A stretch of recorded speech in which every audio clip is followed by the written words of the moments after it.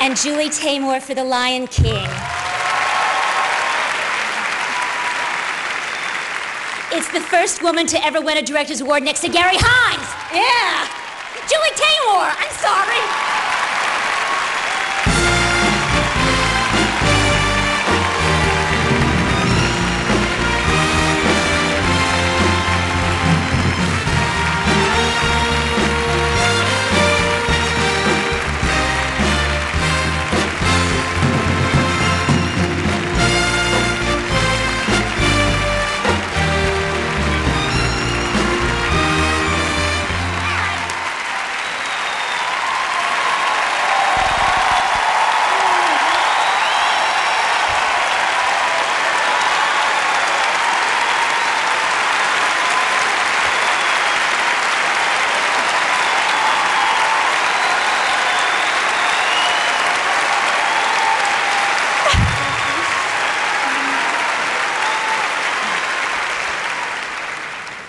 I'm so happy to be following in a long line of awards for women as directors.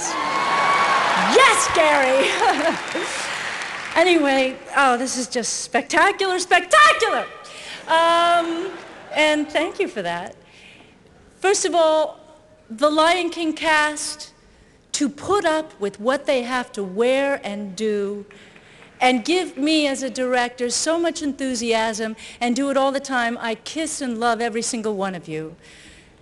I also want to thank my collaborators, all of them, Richard Hudson, Lebo Mark Mancina, the whole group. I can't go on and on about you, but they are the best supporters. I got to pick them. Why? I had the best producers. Producers, Tom Schumacher, Peter Schneider, Michael Eisner, who give you the support as a director. I'm a not-for-profit baby. That means I had Lincoln Center, Music Theater Group, the Public Theater, Theater for New Audience, all of them, all our New York comrades supporting me to play, to grow, to hone my art. Then I get this other company to come in and say, we want you to do it again. And we're going to give you a little more support so it can be a little bit bigger and last a little bit longer, maybe. I thank you, Disney. I thank you, my sweetheart and collaborator, Elliot Goldenthal, and also I have parents, Betty and Mel, who let me be very free when I was a young girl and play, play, play. I love you. Thank you.